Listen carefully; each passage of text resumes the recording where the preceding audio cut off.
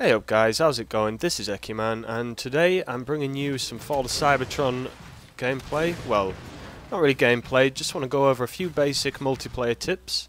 Alright, so the first one is map knowledge. Map knowledge. Okay, so what you want to do is go to the um, multiplayer menu, excuse me, find the private match option and load yourself up into a map. Maybe just pick the scientist class and have a fly around. Just uh, see where all the nodes are, where all the power-ups are, stuff like that, where you can get um, ammo and health.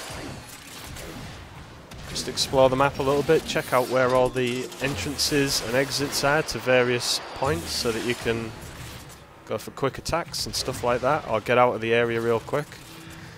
Uh, it only takes a few minutes just to have a look at it, and you can take in a lot more if you're just playing on your own than uh, you know if you were doing it in the middle of an actual match. So that's the first tip, and the second tip I want to talk about is uh, using your abilities. Alright, so this is going to apply mainly to the Titan and the Destroyer and their defensive abilities. So let's take a look at the Destroyer first.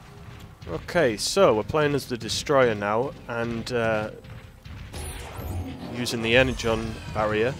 What that does is it reduces, uh, well, it stops enemy incoming fire, so you're basically safe behind this if anyone's firing at you from those angles. So what I really want to talk about is the recharge time. So I think it's uh, about 7 seconds to recharge if you use it fully, but what I want to talk about is just disabling it. So let's say you're attacking C or something, or you're up against a couple of people, doing your thing, manage to take him out. Get rid of your barrier. See how quick that recharges. You don't want to be waiting 7 seconds uh, for your barrier to recharge just in case someone else turns up and you need it in a hurry. Uh, likewise, if there's no one out there, this barrier is doing no good at all. You're just uh, going to waste your cooldown time. So yeah, that's the first uh, that's the first tip I want to give about using abilities, and the second one is regarding the Titan class and the Flak Shield, so let's take a look at that. Okay, so we're playing as the Titan class now, and we've got the uh, Flak Shield equipped. And what I want to talk about with this is using it to cover your reloads. It's quite basic, obviously, but um, I don't know, you might get something out of it.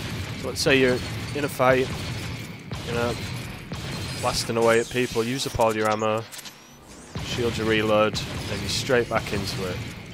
Might just buy you a little bit of extra time in the middle of a fight, Plus, your, uh, your shield recharges quite quickly, you know, so you can cover a weapon change, perhaps.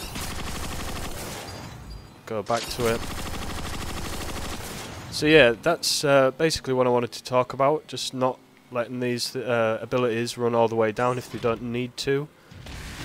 Making use of the quick recharge time and uh, deploying them often in the middle of firefights.